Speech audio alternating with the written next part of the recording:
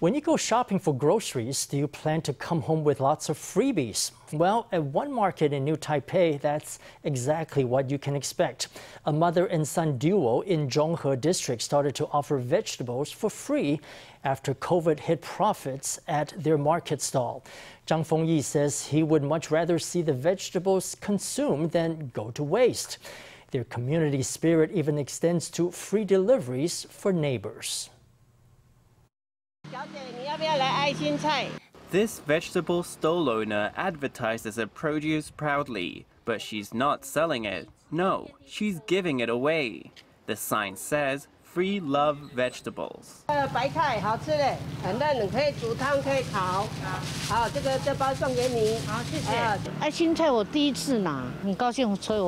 she happily hands over a big handful of Napa cabbage. The recipient is baffled but delighted.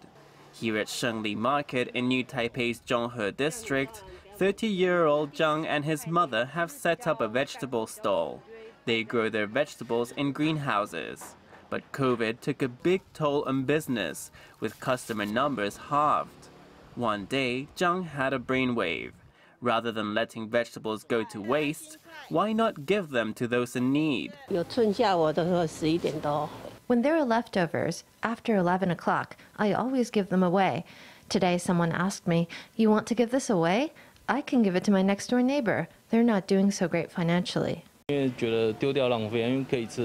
feel that it's a waste to throw them away because they're perfectly edible. They're just a bit ugly on the surface. Maybe they got too much sun or lost a bit of water and they're a bit wrinkled. But that's not all. This mother and son even offer a home delivery service. Here on the stall social media page, you can see a price list for all the produce, handily arranged so customers can make an order.